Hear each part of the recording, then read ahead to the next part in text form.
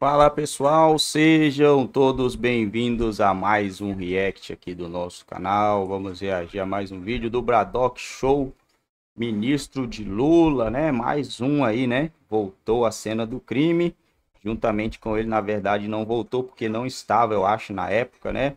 Mas trouxe mais um aí para participar da bagaceira, né? Parece que eles vão escolhendo a dedo, né? Pera aí. Esse aqui tem um histórico de bagaceira. Vamos pegar ele. Aí vai no outro. Esse aqui também tem um histórico. Vamos atrás. Foi só indo, indo, indo.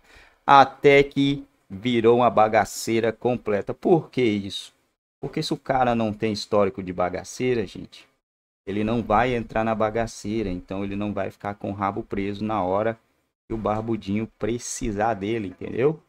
Se ele tiver rabo preso, Aí, meu irmão, ó, você não vai fazer isso não, beleza. Vou soltar aquele vídeo lá, aquela prova lá, né? Mais ou menos assim. Eu imagino que aconteça aí na minha cabeça. Quero deixar os créditos ao canal Bradock Show e vamos pro vídeo. Juscelino Filho, sobre o uso irregular de verba de emendas.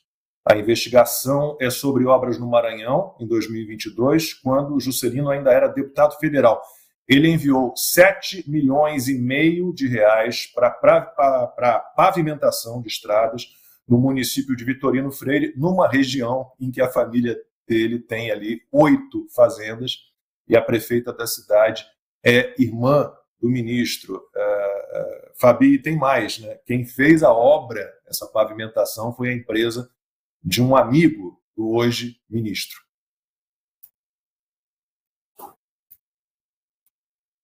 Fabi me ouviu? Não.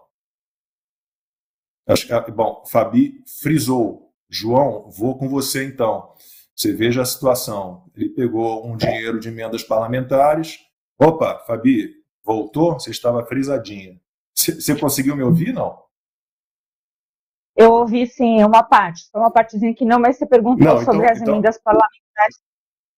É, vou fazer um resumo. Tô, tô, a gente está falando do ah, caso do, do, ministro das Comunicações, Juscelino Filho, que pegou lá 7 milhões e meio é, de recursos em emendas parlamentares, mandou para um município lá de Vitorino Freire, no Maranhão, isso em 2022, ele era deputado federal, né? conseguiu pavimentar é, uma estrada que, por acaso, dá acesso a oito fazendas da família dele, por acaso a irmã dele é prefeita do, do município de, de Vitorino Freire, e quem fez a obra eh, da pavimentação foi um, um, empresário amigo do Juscelino Filho. É, tudo isso é a grande obra do acaso mesmo, né, Lacombe? Olha quanta coincidência. Para quem fala que não existe, está aí. Né, vai pavimentar algo que vai beneficiar quem? A família dele, feito pelos amigos, padrão, padrão, que a gente já tem há muito tempo aqui no Brasil, infelizmente, né, a gente não se livra desse tipo de político, tipo de governo e tipo de pessoa que tem desleixo com o dinheiro suadinho né, da, minha, da senhora, do senhor que está do outro lado aí nos acompanhando, que sabe o quanto está difícil pagar as contas convencionais para ver esse deboche. Porque para mim isso é um deboche. Essa história é, que mudou lá no governo Bolsonaro, quando teve o tal do RP9, que instituiu a tal de emenda de relator, na época eu me lembro que eu, que lido com assunto, assunto de orçamento tributário, orçamento público, tive bastante dificuldade de entender, porque lá atrás, é importante falar isso, o Paulo Guedes ele queria realmente tirar o carimbo do dinheiro federal. O que significava isso? Que teriam mais é, discrecionalidade do dinheiro público e seria mais aplicado na ponta, né? Mas eu acho que o Paulo Guedes não estava pensando aí nesse tanto de coincidência que nós temos no Brasil. E quando o dinheiro público é aplicado lá na ponta, olha só o que acontece. Né? Melhoria para o patrimônio de quem está aplicando. E o grande problema nisso é que, por mais que seja transparente, que esteja lá no portal da transparência, não é muito ainda transparente como deveria. Então, existe sim um certo nexo de quem está criticando que a gente não tem como ver essas emendas parlamentares. O que a gente tem certeza, e pode perguntar para qualquer um que a gente anda nas ruas aí, porque a percepção do brasileiro não é de idiota, o brasileiro está percebendo, é que as emendas parlamentares movimentam também os interesses no Congresso Nacional. Então, se você vê ação ou omissão no Congresso Nacional, você logo pensa: será que ele deixou de agir por conta de uma emenda ou será que ele agiu porque também tem uma emenda, ou ele, ou ele está só fazendo qualquer coisa desse tipo para ver se cai o famoso PIX. Né? A gente está cansado desse, dessa metodologia aí, mas coincidências demais, deve ter alguma coisa errada. Não sei se a Polícia Federal não tivesse muito preocupada em viajar para os Estados Unidos e, e, ver lá a história do CID, que já está saturada, quem sabe não conseguiria investigar algo que é muito mais importante para a população brasileira envolvendo o Juscelino Filho, então é da época em que ele era deputado federal, mas eh, em fevereiro do ano passado, já como ministro das Comunicações, a gente não pode esquecer que ele usou um avião da FAB, né, recebeu quatro diárias e meia numa viagem de Brasília a São Paulo, teve dois rápidos encontros com o ministro aqui, aqui em São Paulo, se for somar o tempo que ele gastou nesses dois encontros, não dá nem duas horas, e ele ficou por aqui por três dias, né, quase quatro dias, na capital paulista para acompanhar leilões de cavalos. Né? Então, tudo bancado por nós, pagadores de impostos. Eu, eu não ouvi o começo, era para mim que falhou o começo aqui? Isso, isso, isso, João, contigo. É, lembrando não, dessa questão complementar do, o que você do Juscelino falou. lá no, nos leilões de cavalos, ele é apaixonado por cavalo. Nada contra, mas. Não, ele foi no leilão de cavalos. Mas eu não usei o dinheiro até... público para isso. É, você, se você pôr o nome dele, Juscelino Filho, no Google, é só esse tipo de coisa. Ele foi no, foi no leilão de cavalo com o avião da FAB, aí tem uma outra aqui. A única proposta dele na Câmara em 2022 foi criar o Dia do Cavalo. Ou seja, é, é, é assim, ele está dentro desse contexto do governo Lula de uma pobreza de quadros, né? Uma pobreza de quadros. Você tinha antes a classe intelectual aderida ao petismo, né? Até nos primeiros governos do PT, mas essa classe intelectual, ela, ela também se deteriorou, né? Porque quando você parte de premissas falsas, que é o que normalmente essa classe intelectual mainstream adota, né, para criar essas teses fajutas de racismo estrutural, cultura do estupro, patriarcado branco, você está analisando o mundo errado, está analisando um mundo que não existe. Então é natural que você, o seu descolamento da realidade vá aumentando. E nessa pobreza de quadros é inadmissível Juscelino Filho ser ministro das comunicações. Lembra o quanto que batiam nos ministros da, das comunicações do Bolsonaro, especialmente o Fábio Faria, que é possível criticar, sim, naturalmente. Mas veja, o Juscelino Filho, né, a Nízia Trindade, assim, é, é, é, falta lá o mínimo assim, para esses, esses ministros do Lula. E essa questão dele só, só vem muito a calhar, né? não não só ele, como tantos outros, né? E tanto criticavam essas, essas emendas, né, na época do, do Bolsonaro, e agora atuam dessa forma. E também há se lamentar a cobertura que é, que é dada a esses temas, né? Que a gente tem a notícia, de fato, ela sai nos grandes portais, mas só sai, né? Não tem aquela pressão que existia, né? Porque, lembrando no caso do Bolsonaro, a quem a esquerda atribui todos os problemas do mundo aqueles quatro anos de governo, sendo que eles ficaram né, muitos, muito mais anos é, a pressão que era, né, em todos os casos, né, tanto que o Bolsonaro acabou trocando muitos ministros nessa pressão mesmo, né, alguns mereciam, mas outros foram por essa pressão que hoje não é feita, é tudo tratado normalidade, então é mais um ministro desse péssimo quadro, dessa, dessa, desse quadro do Lula, esse não é ministro da área, é chamada área intelectual, mas é um ministro assim que ele é um completo desconhecido no Brasil, né, no setor, ele está lá para fazer isso mesmo que o Lula é bom em fazer. O Consta, e, e, e, eu fico sempre pensando, Juscelino Filho entende o que de comunicações, né? a formação dele, ele é médico. Né? É, é, é o Juscelino Filho é médico. Aliás, o, o Ministério do Lula é, é, tem essa capacidade. O Ministério do Lula tem três médicos: né? o André Fufuca, dos esportes, o Juscelino Filho, comunicações, e o Geraldo Alckmin, que, que é vice-presidente e ministro. Mas, mas quem comanda a saúde é uma socióloga, que o João citou, é a Anísia Trindade. Então, assim, é um ministério enorme, né, sem técnicos, e, e, e tudo trocado ali, tudo desbaratado. Talvez o, o Juscelino entenda de comunicação por meio de cavalos. Né?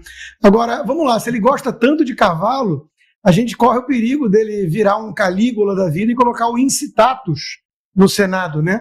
É, quem, quem lembra da história, o Calígula colocou o Incitatus, que era o seu cavalo preferido, indicou para o Senado romano. Né? Então, um dia a gente pode chegar lá, quem sabe. Agora, falando sério, Lacombe, eu não vou nem fulanizar. É óbvio que tudo isso piorou com o Lula, o Brasil voltou e, e o amor custa caro, e essa gente gosta desse tipo de coisa. Mas eu vou falar de uma maneira mais abrangente, para a gente entender que os mecanismos de incentivo importam. E por isso que a gente tem que defender a privatização, por exemplo. Ah, porque é, é, se a, ao menos a pessoa certa estiver à frente. Não, gente, olha só. Mecanismo de incentivos. O Milton Friedman, prêmio Nobel de Economia, lá da Universidade de Chicago, onde o Paulo Guedes fez o doutorado dele, ele gostava de dizer que existiam quatro formas de gasto. Eu vou resumir muito aqui. Primeira forma de gasto é pegar o meu dinheiro e gastar comigo mesmo. Todo dia que você vai no mercado ver lá o aumento do preço do, da comida subindo, que a Miriam então diz que é bom, você vai maximizar o benefício, porque é você mesmo que está esco escolhendo, e as preferências são pessoais, e vai se preocupar muito com o custo, é você que está pagando. Quando você usa o teu dinheiro para um terceiro, um presente, você se preocupa muito com o custo e o benefício, como as preferências são subjetivas, vai que a pessoa não goste, né? Aí ela qualquer coisa troca. Então eu já não ligo tanto assim para o benefício. Agora, as outras duas formas são as piores. É quando eu gasto o dinheiro dos outros com os outros. Ah, não estou nem aí para o custo, não sou eu que pago, e benefício também não sou eu que uso. E a pior forma de todas, quando eu uso o dinheiro dos outros comigo. Aí você usa o aviãozinho da FAB para ir para leilão de cavalo e mete ali uma reunião de uma horinha para um pretexto, um verniz de legitimidade. Então, é disso que se trata.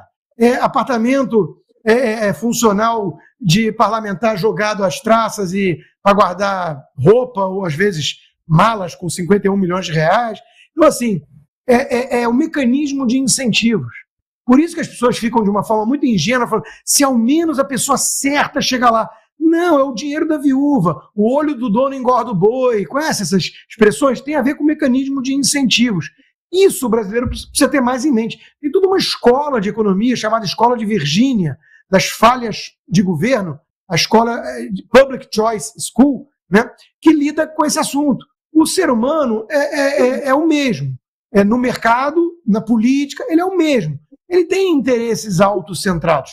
O que você tem que fazer é melhorar o mecanismo de incentivos. Tinha um CEO do, é, da IBM que dizia: Eu acredito no que eu posso inspecionar, não esperar. E a gente precisa mudar a relação com esses políticos. É o que a gente pode inspecionar e diminuir o, o escopo de arbitrariedade e, claro, os recursos que transitam pelo Estado, porque o mecanismo de incentivos nele é perverso. É, e, é, e, é, muita grana, né? É, vou lá para puxar então a pauta 3, porque este ano, até agora, o, o, governo Lula já empenhou mais de 8 bilhões de reais em emendas parlamentares. E os partidos do Centrão foram os que receberam mais recursos. Né?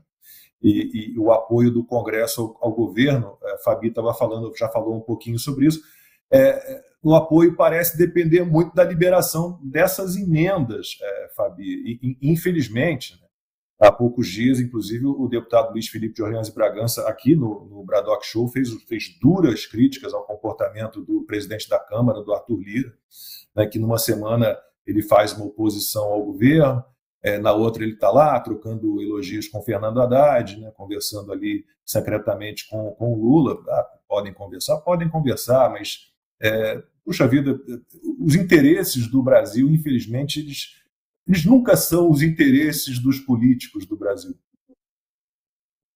É isso, é exatamente esse o ponto, Lacombe, que até o deputado também trouxe em relação ao centrão fisiológico. A gente não se livra dele e eles que comandam tudo. Então, veja, o governo Bolsonaro não conseguia quase governar por conta do Centrão. Até o governo Lula está sofrendo isso, né, quando as pautas ideológicas não estão tá conseguindo emplacar desse ponto de vista, graças a Deus.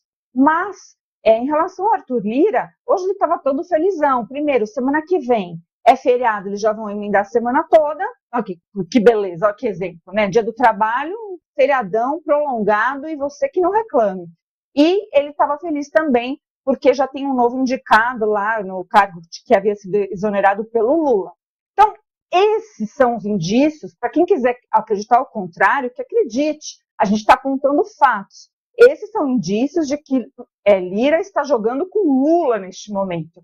E mais uma coisa que eu acho que fica muito claro: como é que tanto o Pacheco quanto o Lira estão passando esse vexame internacional de, de estarem acompanhando a Câmara Legislativa né, dos Estados Unidos, é, tentando investigar algo que aconteceu e acontece ainda no Brasil.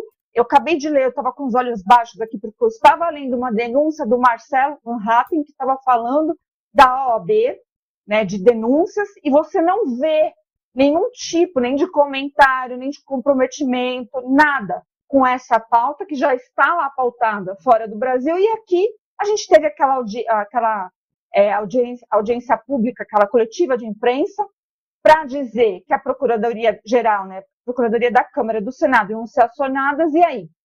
E aí que não temos nenhum resultado, nenhum resultado formal. Então, as perseguições continuam. O processo intimidatório está aí, e com o aval do Lira, que fique bem claro isso. Não adianta falar, ah, vocês não podem criticar porque o Lira. Não, gente, o Lira sabe jogar o jogo do, do poder.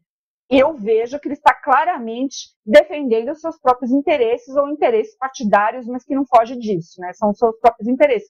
Como você bem disse, Lacombe, do brasileiro, que são os interesses principais, e não falta dinheiro para isso, que ganham muito bem, a gente vê pouquíssimos fazendo.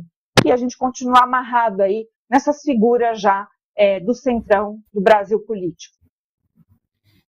Ô João, bom, eu sou o mais velho da turma aqui, né? Em 2026 eu completo 60 anos. Eu juro, cara, a você que, que, que a essa altura é, eu, eu, imaginei em algum momento que eu já, já teria visto o Brasil se livrar dos oportunistas e dos egoístas, mas é, infelizmente a gente vai tentando renovar a esperança, manter a fé mas não muda, não muda, juro. É, a minha vida inteira eu estou esperando o um momento em que a gente tenha realmente políticos preocupados com o país, com, né, com o bem é, do Brasil, pensando nos brasileiros, mas entra governo, sai governo, né, trocam o Congresso e, e, e nada muda. E a gente não vê um movimento grande realmente que provoque essa mudança que é imprescindível, que é a, a limpeza, né, tirar esses egoístas e oportunistas é, ali do, do poder. Você está bastante correto, Lacombe. A gente vê que esse centrão ele vai sobrevivendo a tudo isso. É uma pena que o Brasil passe por isso, né? Um povo trabalhador, honesto, em sua imensa maioria, né? Que é empreendedor, né? Que enfrenta tantas dificuldades, né? Se a gente vê países com tantas mais dificuldades que se, se desenvolvem mais que o Brasil por conta né, desse ambiente político-econômico mais favorecido. E a gente vê também que essa supermusculatura do Congresso foi, inclusive, ela teve, ela cresceu essa musculatura no governo Bolsonaro, de certa forma, para segurar o Bolsonaro. E agora o Lula também está pagando o pato, que foi um dos que o PT incentivou muito isso, né? O Congresso como uma espécie de freio ao presidente. Eles chegaram até a usar, se eu não me engano, Gilmar Mendes e outros até falaram de uma espécie de semipresidencialismo, né? A gente precisa pensar num semipresidencialismo, que na prática já é, né? Você o presidencialismo de coalizão, você tem que construir a base. Agora, é sempre lamentável também ver os nomes aqui né, na notícia dos maiores agraciados com, com as tais emendas, né? Ciro Nogueira, Davi Alcolumbre, né? Eduardo da Fonte, lá do Pernambuco, é, vários aqui do partido, do partido Kassab, né? O PSD. Então são sempre essas figuras, esses partidos que eles têm muita força, né? As reformas eleitorais recentes, que era para acabar com o multipartidarismo, deixar esses caciques partidários ainda mais fortes. Né? Vide hoje, um dos que mais mandam no Brasil, Kassab, e muita gente ainda fala, ah, mas se ele disputar a eleição, ele não ganha. Tá, mas ele não precisa, ele tem um partido que tem mais prefeituras no Brasil, em São Paulo tem mais que o dobro do segundo. Então a gente está na mão desses caciques partidários que muitas vezes falam, oh, vamos fazer reformas eleitorais, mas na verdade acabam beneficiando a eles. Infelizmente, esse é o Congresso que temos e o Brasil que temos, e até esse sistema né, de coeficiente eleitoral, acaba entrando muita gente que não, não deveria com os tais dos puxadores de votos. Costa, quer falar alguma coisa em relação a esse, essa turma de, de, de, egoístas e oportunistas? Só lembrando, gente, vamos esquecer não, né, é que, que, que, o governo Bolsonaro começou sem o Ministério das Comunicações, que na minha opinião é absolutamente dispensável. Ele começou com 22 ministérios e aí, claro, precisou do apoio ali do, do Centrão e, e, e, recriou o Ministério das Comunicações e colocou ali o Fábio Faria. Mas, é, bom, ontem foi dia de Paulo Cogos aqui, consta, e, e é aquela história, Paulo Cogos, é, para ele é tudo afuera, é tipo Javier Milei. Não precisa de, de, de nenhum. Já vi. Bom, pessoal, é isso aí, meu povo, né? Ministro do Barbudinho aí, né? Canalha, canalha, canalha. Asfaltou. a rua onde seus parentes tinham fazenda, o dia do cavalo. Gente, o que o dia do cavalo tem a ver com o povo brasileiro? Vocês conseguem explicar para mim? Que o povo brasileiro vai ser beneficiado com o dia do cavalo? A picanha vai ficar mais barata com o dia do cavalo? A famosa cervejinha do Barbudinho vai ficar mais barata por causa do dia do cavalo? A carga horária do trabalho, de trabalho do trabalhador brasileiro, que é excessiva, tá, gente? A carga horária do trabalhador brasileiro é excessiva, né?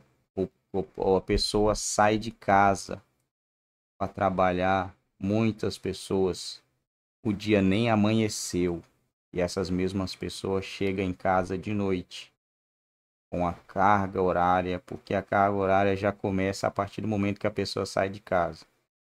É, ah, ela entra, abre 6 horas, 7 horas, mas ela sai de casa, tá de noite, chega em casa, tá de noite. Vai melhorar porque um deputado conseguiu o dia do cavalo. É sério, gente.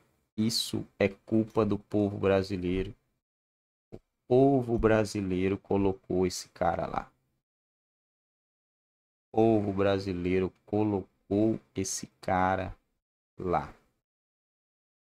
E aí o cara faz isso aí, né? Ele, a irmã dele. E a irmã dele é prefeita, gente. É sério.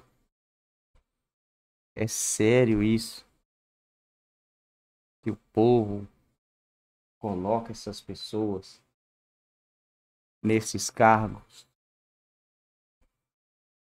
Gente, o povo paga pelas suas escolhas mal feitas. Como que pode, gente? Como que pode uma coisa dessa? É sério que a gente tem deputados e senadores ali para pautarem coisa que não vai ajudar nada, gente. É tanta coisa. Esse é um dos, né? Tem tanta gente pautando coisa ali que não vai agregar nada à vida do povo trabalhador que paga o salário desses caras. O povo precisa de um salário melhor. O brasileiro precisa de um salário melhor, de uma carga de trabalho menor. As pessoas precisam está em casa, precisa ver seus filhos, seus parentes, seus entes. O povo brasileiro fica nessa corrida dos ratos. Brasileiro fica na corrida dos ratos. Não tem tempo. O povo não tem tempo, gente. Esses caras sugam até a última gota de sangue do povo brasileiro. Eles sugam culpa tá nesses caras corruptos. Cara, se o povo brasileiro parar para pensar o que é feito com o povo, é uma escravidão moderna, né? Onde você pode ir para sua casa, pode dormir na sua cama, ter uma TV que você não vai assistir, pode ter um monte de coisa que você não vai usar. Você não tem tempo. Você que dia que você tem um, um sábado, um domingo. Aí não, não. Pelo salário que o brasileiro ganha. E ainda continua colocando esses políticos. É, eu não consigo entender. Sinceramente, tô repetindo, repetindo, repetindo a mesma coisa aqui. Como que o povo escolhe mal? Como o povo brasileiro tem a capacidade de escolher mal? O outro falou que não ia enganar o povo de novo. Gente, o cara tá. O, o, onde ele falou que ia baixar o preço das coisas, ele tá aumentando. Justamente aonde falou que ia baixar, ele tá aumentando. Projeto de ving... e, e a narrativa que ele dá é que baixou.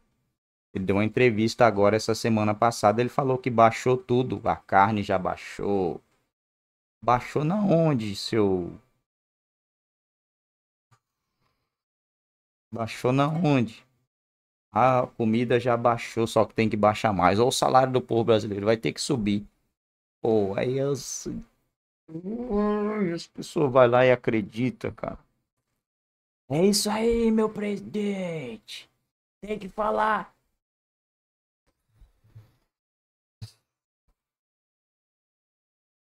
O cara tá taxando todo mundo e todos. O outro, o único, o ex-presidente Bolsonaro, o único presidente na história do país que reduziu o imposto. O único que tirou imposto. Mas o povo merece aquilo que ele escolhe, né? Felizmente, a gente planta para colher. Então, o povo está plantando. O ruim é que nessa situação, nesse caso, a gente vai participar da colheita também. Né? Tomara que não. Tomara que não. Mas de alguma forma tem para onde escapar, né?